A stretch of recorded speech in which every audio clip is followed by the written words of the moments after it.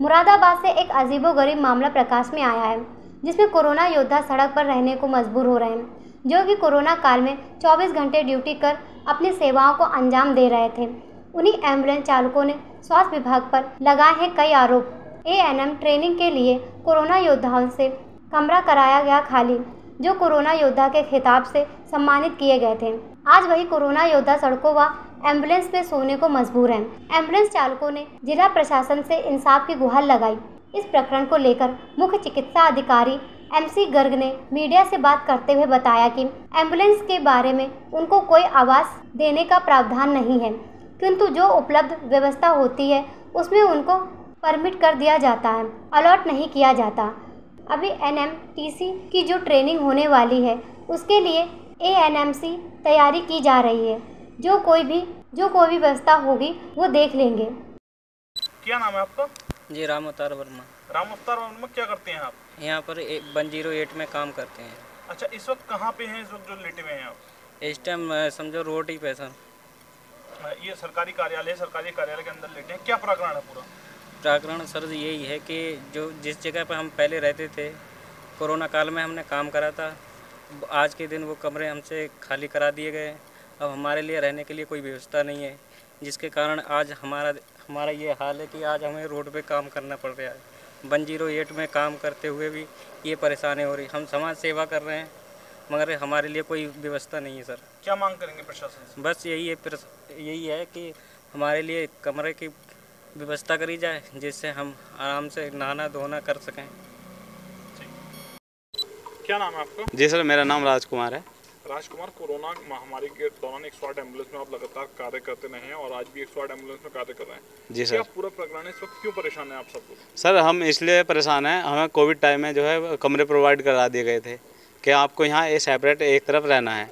और सर अब से अब जो है हमसे वो कमरे खाली करा लिया हमारे लिए कोई व्यवस्था नहीं की गई। और आप देख सकते हैं अभी भी जो है क्या नाम रात का समय है और हमारे बिस्तर और हम सब बाहर ही हैं। कितने साथी ऐसे हैं जो जो है हमारे रोड पे हैं दस से पंद्रह। जी सर। किसकी तरफ़ से ये ये कमरे दिए गए थे आपको? ये हमें सी एम ओ साहब की तरफ़ से कमरे दिए गए थे। और और अब हमारे लिए कोई व्यवस्था है नहीं। कितनी परेशानियों का सामना करना पड़ रहा है सर शहरी परेशानी है ना नहाने का है ना धोने का है ना रहने का है ना सिर पे छत है ना चांदना है। एडमिनिस्ट्रेशन से किसी अधिकारी से शिकायत करी? सर हाँ हमने सूचना दी थी। तो हमारे लिए मतलब कोई संतुष्ट संतुष्टिजनक जो है हमें जवाब नहीं मिल पाया। क्या मांग करेंगे प्रशासन से? सर बस हम तो यही कि हमें कमरे प्रोवाइड किए जाएँ और ताकि हम अ, बेहतर सेवा दे सकें तुरंत। क्या नाम है आपका? जी मेरा नाम अजय यादव है।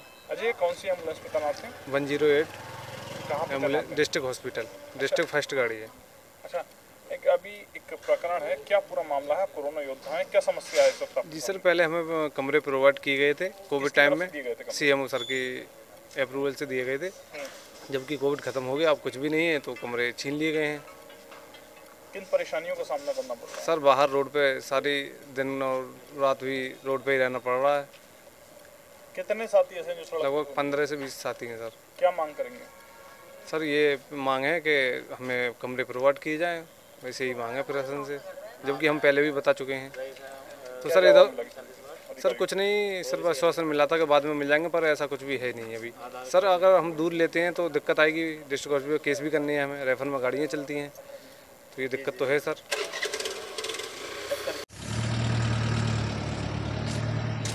सर कुछ एंबुलेंस कर्मियों का आरोप है कि उनको जो है एक रूम दिया गया था कोविड टाइम पर इमरजेंसी सेवा के तहत। उनसे वापस ले लिया गया वो सड़कों पर सोने को मजबूर है। देखिए ये आरोप शब्द तो सही नहीं है।